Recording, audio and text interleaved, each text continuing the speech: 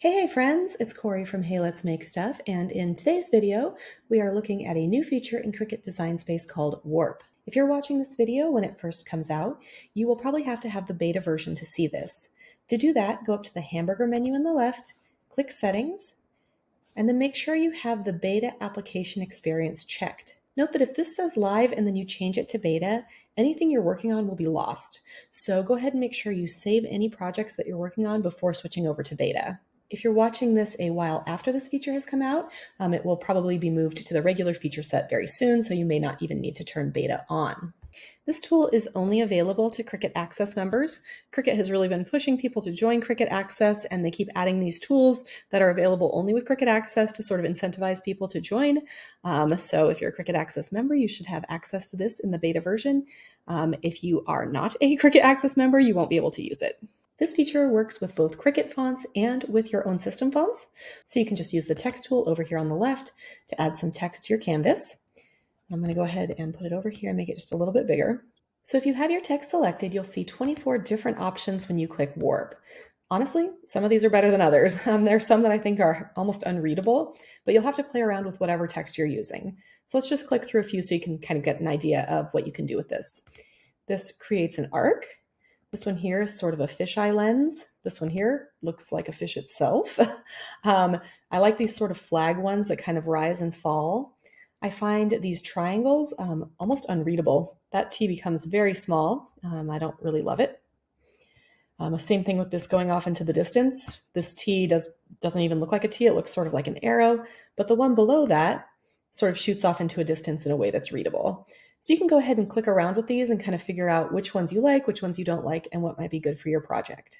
To remove a warp, all you have to do is click the warp um, itself. It'll turn it off, or you can click down here, undo warp, and it turns it off. I have found that I think that the text warp tool looks better when you're using words in all caps. So I'm going to change our word here to the word sunshine in all caps. Now, if I use some of these tools, bring it down here so you can see, this looks a lot better, right? But some of these still don't work. Like this triangle here, what what's happening with this E? That is unreadable and pretty much uncuttable. I feel like your Cricut, um, as good as it is, would not cut that E very well. Um, so maybe if you had a, a much simpler letter down here, that would work. But this E just does not work. Same thing again with this disappearing into the distance. We don't even know what that word says. Um, I'm not really sure when you might use this, but it's there if you want it. Now let's go back to this first arc and you may be wondering what the difference is between this and the curve tool. So let's go ahead and duplicate this. Remove the warp on the second one, and we're going to use the curve tool instead.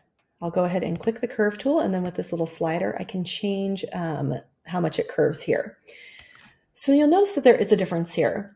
The warp tool actually warps your text, whereas the um, curve tool, it just curves your um, your current letters around sort of a circle. You can see up here in the first one that the text is actually warped. So the top bars on this H is wider than the lower bars down here. This N sort of shoots out farther than it does here, as well as the U here, it's much wider than it is at the bottom here. So while these two tools are similar, there is definitely a difference between the warp tool and the curve tool. So when I was playing around with this tool originally, I wanted to see if I could create one of those sort of 70s retro designs that are really popular right now. So I'm going to create a three line uh, text here with the same word. And then I'm going to choose a retro font. So I like um, the one I have here on my computer. It's called Nellie. I think that's really cute. This is a style that's really popular right now. We're going to need to take down that line spacing because the amount of space between the lines is just too much for this type of design. So go with negative five. And then I'm going to use the warp tool. Let's try this flag. So what you get here is what you get. There's no way to adjust the amount of warp. With the curve tool, you can change the amount of curve, but with the warp tool, it is what it is. So I think this is a bit extreme. I don't really love how some of these letters are being stretched. Some of the options are better than others. Um, we can go back to this triangle that I don't like, and um, it gets even worse. Like what is going on over here on the right? This is pretty terrible. Um, but something more like this. That's not great, but it's not so bad. Um, something like this. Okay, maybe if we go here and we rotate it, yeah, sure, I might put that on a shirt. I'm not sure. We could also choose one of these flags. Like, that's pretty cute. I might put that on a shirt. I have a lot of files like this in my shop, and the way I create them is in Illustrator. And while I don't think it's necessary that most designers have Illustrator, if you are interested in creating these particular types of designs, it's very easy in Illustrator. So I'm actually going to pop over there really quickly, just show you how easy it is, just in case you're thinking that Illustrator might be a good upgrade for you. All right, so in Illustrator, I've put the same words in that same font. And if I go up here to Effect and choose Warp Flag, I will basically get that same shape. And here I also agree that it dips way down way too far and goes way too high up. But in Illustrator, I can actually make changes. I can lessen the amount of bend. This looks much better to me. Like it's much more readable. I like it a lot more. And there are other changes you can make here, like changing the amount of distortion. Um, but overall, like making changes like this is really easy.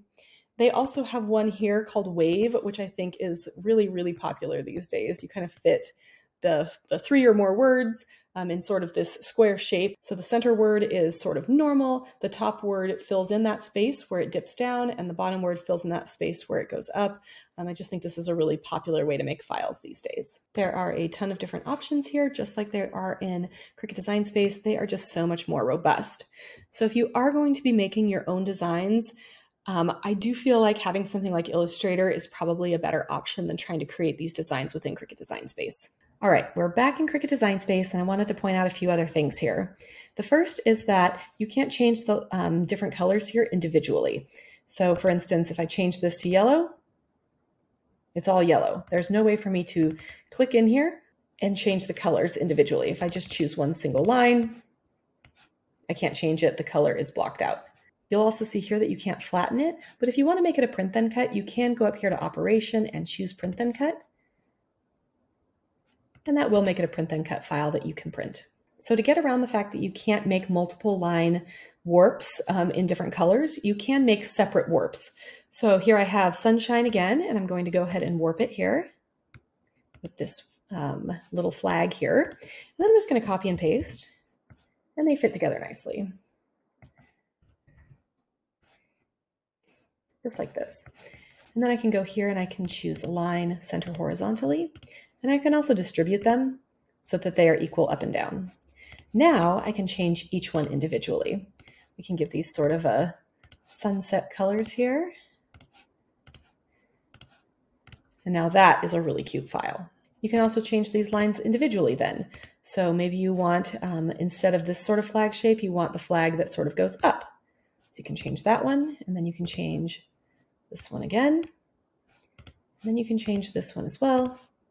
And again, you have a pretty cute design. So the question is, do I like the warp tool? And my answer is, eh, it's okay. Um, I do feel like there is a lot of room for improvement. I think my biggest beef is that you can't change the amount of warp um, because I really feel like that would make it much more robust and you can do a lot more with it.